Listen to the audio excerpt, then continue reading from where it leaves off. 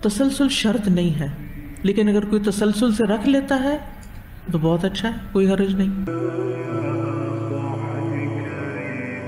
असल हुक्म तो यही है कि पहले क़ज़ा पूरी की जाए। क्योंकि रसूल अल्लाह सल्लल्लाहु अलैहि वसल्लम ने फरमाया, जिसने रमज़ान मुबारक के रोज़े रखे, रमज़ान पूरा कर लिया, रमज़ान के अंदर छूट गए तो बाद में भी पूरे कर लिए। इसके बाद शवाल के रोज़े रखे। ये हदीस में आता है। गोया उसने सारे साल के रोज़े रखे। तो इससे क्या पता चलता है कि रमज़ान में अगर रोज़े कज़ा हो गए हैं तो पहले कज़ा रखें और फिर शबाल के रखें। लेकिन अगर कोई मजबूरी हो, मसलन एक खातून है, उसने शवाल के रखने हैं, उसने कज़ा भी रखने हैं, उसको फिर पीरियड्स भी आ जाने, उसके पास कितनी ऑप्शन बाकी रह जाती है। अल्लाह ताला देखता है ना हमारे हालात। तो पहले शवाल पूरा कर लें और बाकी कज़ा बाद में रख लें। जितने आपने रखे उतना सवाब आपको मिल जाएगा।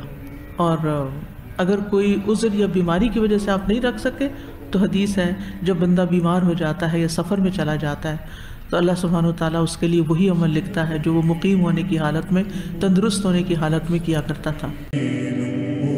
नहीं, ये नहीं कर सकते आप।